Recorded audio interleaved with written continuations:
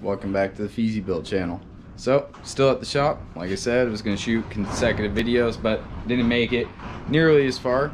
And by the title of the video, you can probably guess what we're doing. So, you want to shut up, door? Want to shut up? Sorry about it. We have a crazy windstorm, like always, Washington. But here, let me explain this while the wind calms down. So, you got your Mac 4 port, right? Um, first things first, you want to mount that thing. Uh, you want it to be sturdy. You don't want it to be flopping around. These little mounts, they're universal. You can buy them for like $16 off Amazon, eBay, just about anything or anywhere. They're super easy. They have two bolts, little flush mount bolts. I know I got mine bolted on, but like I said, I already had this all the way together. I pulled it apart real quick. That way I could shoot a quick video and show you guys because mostly routing them is what people want to know about, but this is a big deal too. So let me see, I got, I think I have another one because they sent me two. This is a little aluminum bracket that they send you. It does come with uh, two rubber grommets and all the screws and everything you need. Um, to put it on, right? So conveniently enough on an EG, there are two holes right here. At least there are on mine, on my uh, uh, engine mount tower. So it, it literally fit perfect. This isn't for an EG, but it worked perfect. I have snap lock fittings. That's another thing you guys might want to invest in. You can get them really cheap on Amazon. They're like $30 for the kit. Um, the way that they work is real simple and it, it saves you time and just blowing off vacuum lines and having to rip them off all the time or cut them it sucks you know you bust your knuckles whatever so the what the way that these guys work is they have a little uh, bearing or whatever teeth inside here when you pull down that releases the vacuum line so to install your vacuum line you have your fresh cut you come over press it in boom thing's not going nowhere locks in plus the nylon line like that is way stronger than the old school rubber tubing that we all use. So here's pretty much a little diagram um, for what you need to do. Where it says A on your gate or on your uh, Mac control, you will run that line to the top of the wastegate. Top fitting, right, sure. Where it says B on the Mac solenoid, you will run that that that line to the bottom of your wastegate right there for reference for the whole thing to work for intake pressure you'll run the line from the part that says intake on the side of it all the way up to your intake manifold reference it anywhere that you can from the intake manifold maybe you have it from the turbo down here I have a T on mine because I'm running the uh, blow off valve from the same one. I know it's kind of ghetto, but that's what I have to make it work. So I have all my lines pre-cut. I'm gonna go ahead and attempt to do this one-handed to show you guys how easy it really is, comparatively speaking. So A's in there, comes down, A's gonna go to the top of the gate. push it in, give it a little tug, make sure it's in. This was my pre-cut line for B. Clearly, you guys are gonna have to cut your own lengths, whatever. Like I said, this is just for the purpose of the video.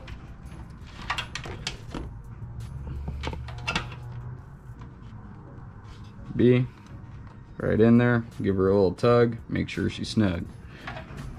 Come down to the bottom of the gate with your B, plug her in, bam. These fittings also, as they are tight, you can adjust, you can move the uh, fitting to where you want it. So I want mine down because I'm going to be running these zip tied together somewhere around this part. So clearly the intake part is being referenced to this little nipple off the intake manifold. And then I have my super duper long guy. This is going to go all the way underneath the intake manifold into the blow off valve. So once again, push in there, snug, like a bug in the rug.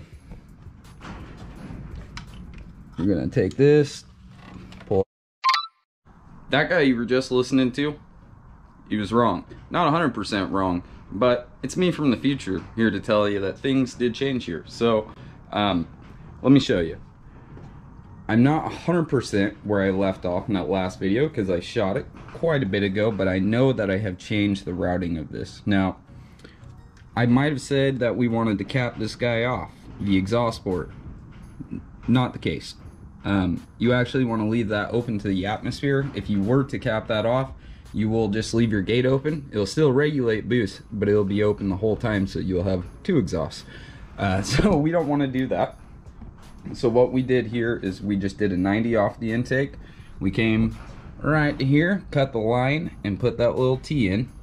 Now this T has the source from the intake manifold, but it also goes back over to the blow-off valve. So before, I believe I had some kind of doofy T here, one going to the intake manifold, one going over there. Wrong. Um, so for wiring this guy, I, I don't think I went over it in this video at all. So we're gonna go over that real quick for Honda's uh, B series, D series, H series, pretty much all the uh, USDM ECUs and the JDM ECUs. And I'll throw in a quick bit on how to do it in the K series as well. So if you're looking at your Mac 4 port, you're probably trying to figure out which wire is the signal and which wire is the power. Well, these are not polarity sensitive, so it doesn't matter. You can choose.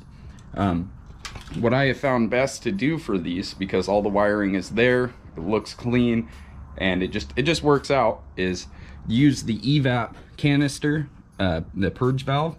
So on most Hondas, you have that little charcoal canister, and this guy plugs into that little purge valve on the top of it.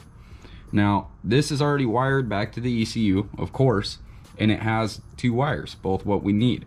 But the head can't plug into anything, and I see a lot of guys just solder these together, which works perfectly fine. I want mine to be a quick disconnect.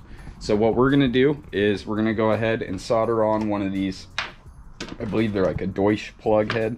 Um, I just got this from AutoZone, they're like $6.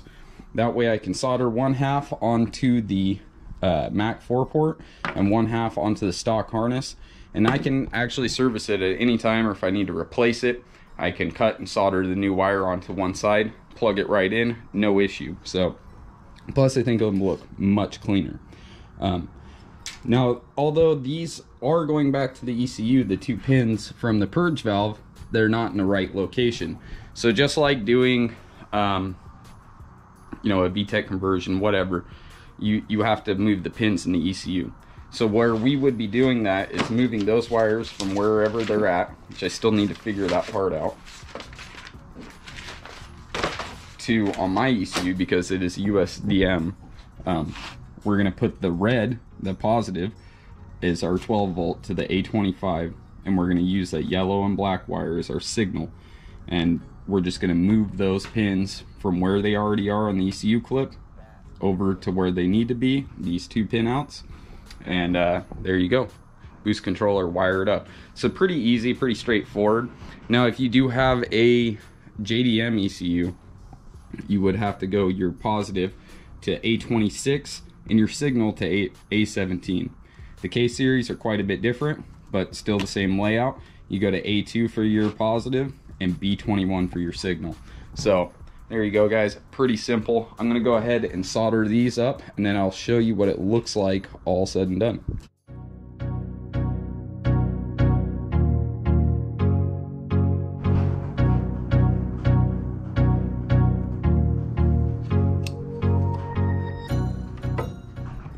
All right, so we got that all soldered up.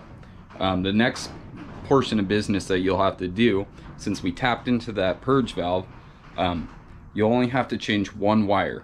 So you would go to your ECU connector.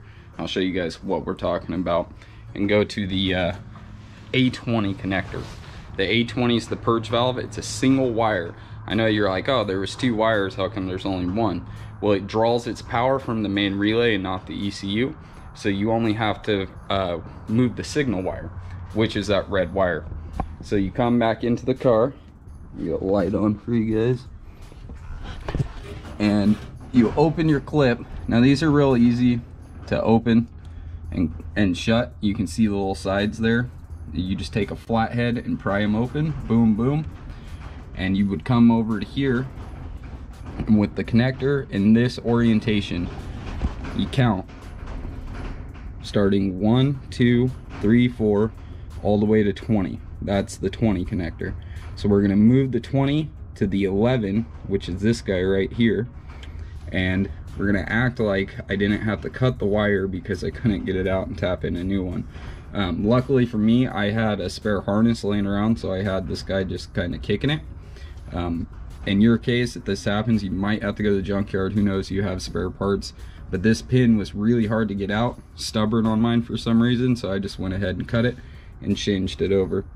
Now you want to find the orientation of how it goes in. And this one goes in between these three connectors. I think it goes sideways like this.